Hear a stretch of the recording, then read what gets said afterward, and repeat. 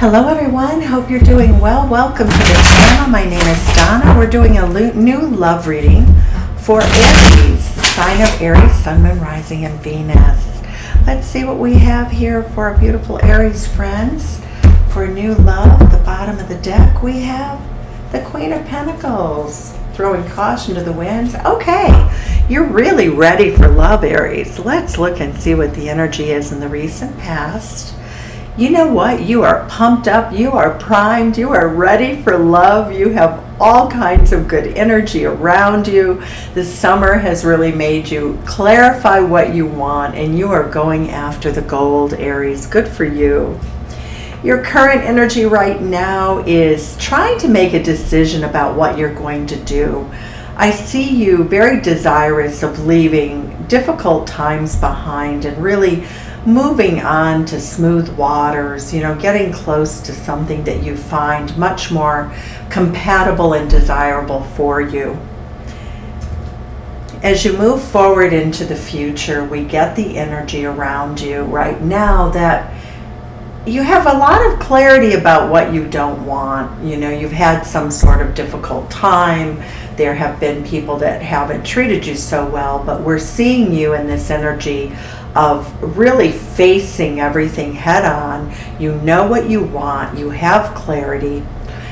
As we look at, you know, as other people are viewing you in the singles world, uh, we see that you have this really strong energy that you're not showing yourself, you're not getting out there right now. we have the moon card, you're keeping yourself hidden, you're keeping your emotions hidden.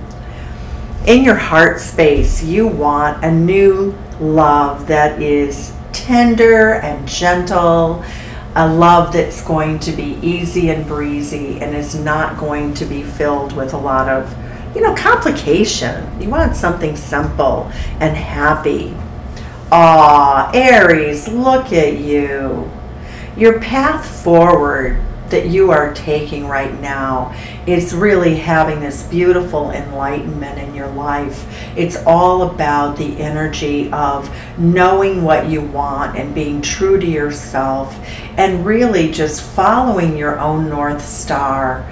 You know, just following your intuition, following your higher self, you really do know what it takes to have a tremendous relationship and it looks like you've had bumps in the road and other people that really just weren't as I think good at relationships as you are.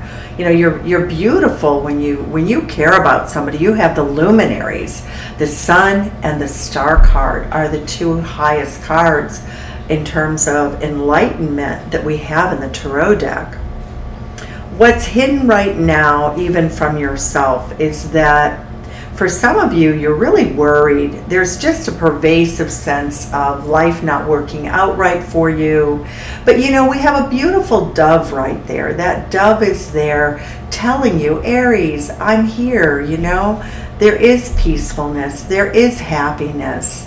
You know, you don't have to be in your head, Aries. You don't have to live in remorse and regret. What Spirit is recommending is that you stay very calm emotionally. You know, you feel very deeply, Aries. A lot of people think of Aries and sort of more, you know, what you do and your how accomplished you are and how good you are at everything. But what we're seeing here is Spirit is saying that this is a time in your life when you really need to delve into your emotions, that you really need to uh, pay attention to them, and to not really tell the world how you feel right now, to keep things to yourself, play your cards close to your chest. Your outcome and new love, look at you, Leo energy. Look at this sun card, the star card, and Leo energy. You have everything. You embody love itself, Aries. You have the infinity symbol tattooed on your arm, metaphorically speaking. You have everything that it takes. The new love is virtually yours. The moment you decide that you're simply going to let some of this negativity fall away, You know, it's been a rough ride for Aries for a long time. The planetary transits in astrology have been very challenging for you. And you know, it's realistic to feel these ways. It's very, very realistic. And so you're powering through that with this beautiful strength card. Let's go ahead and see what the details are. So you may be attracting a Leo energy because with the Sun card and the Leo card, it speaks very strongly to possibly another fire sign energy. But that also can represent you, and it does. But you know, you're out there. You want to be with someone who's fun and lively and talkative and just joyful. So we get the hanged man. So that's Pisces energy. So for some of you, you may be dealing with a Pisces who isn't speaking right now. Uh, the hanged man, though, is really look at, looking at things from a different perspective, thinking about what you want very carefully and not taking any action until you're really ready to make a move. Look at this as star card again. Look at that beautiful energy flowing over into this outcome area you really want someone who is spiritually attuned and enlightened. You are very much enlightened. You bring everything to the table, Aries. When you love, you love incredibly deeply.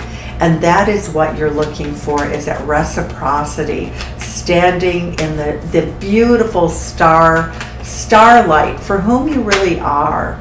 You know, the smile, the love, the things that you do for people the Hierophant energy, look at that. You have someone who's very spiritually aware and someone who wants a traditional relationship with you, Aries.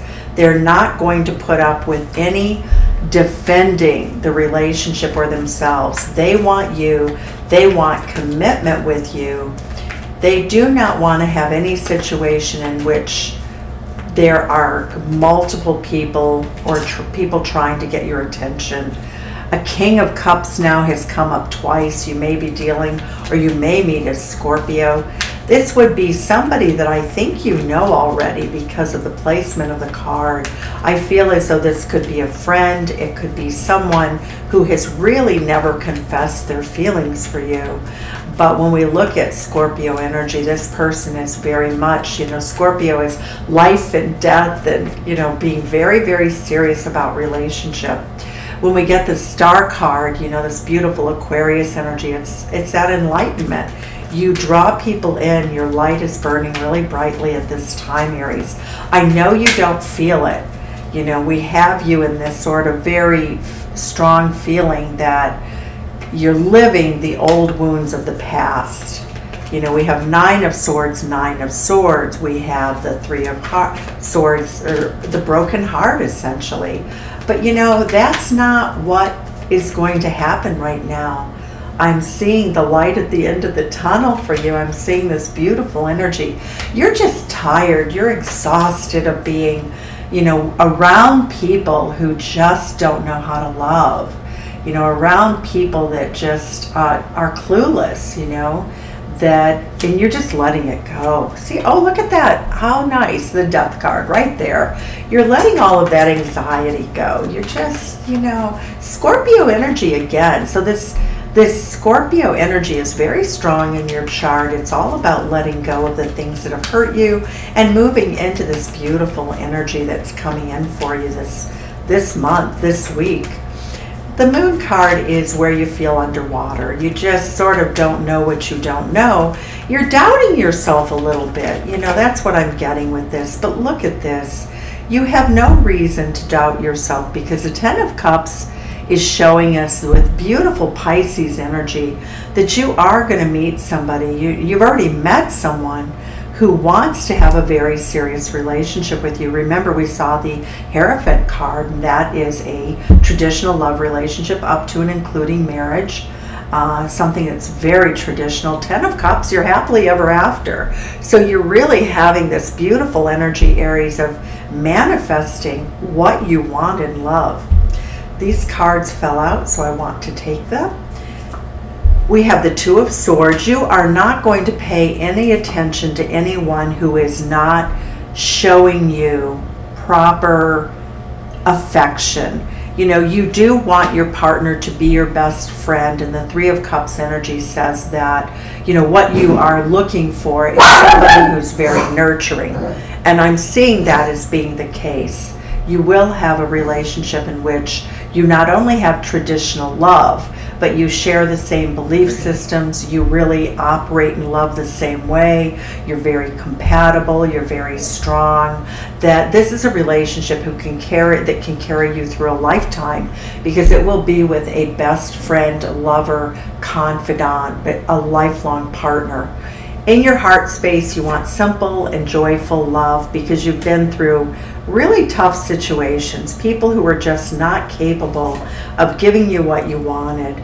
I get the world card here. You're really closing out this cycle. You're closing out this cycle of people who are also immature, people who um, uh, play games, you know, mind games, and that sort of crazy energy that nobody needs, nobody wants it. You're kicking it to the curb. You're just letting it go, and you're seeing it for the truth that it is. Aries, we have fireworks in Chicago going off right now, as we do typically, and my little dog Rosie is arguing about the fact that anybody should shoot fireworks off at 11 o'clock at night in Chicago. Rosie, it's okay, sweets. It's okay. Let it go. Let it go. We have the star card here. Tell us about the star card. You are moving on. If you're currently in a situation, you may physically be moving it looks as though you're going to move someplace that's much nicer, much prettier. You're really, you're in that boat, you're tooling away, you're saying, you know what? C'est la vie, I'm going forward, and whatever happens, happens. And that is exactly the energy that you need. You know, don't let anything haunt you. Look at that. Judge Judy, I love it. Judge Judy is an American judge in the court system who, systems, excuse me, who makes very good balanced decisions because she knows the truth, the whole truth, and nothing but the truth. That's what I'm getting for you. You just you're not having it.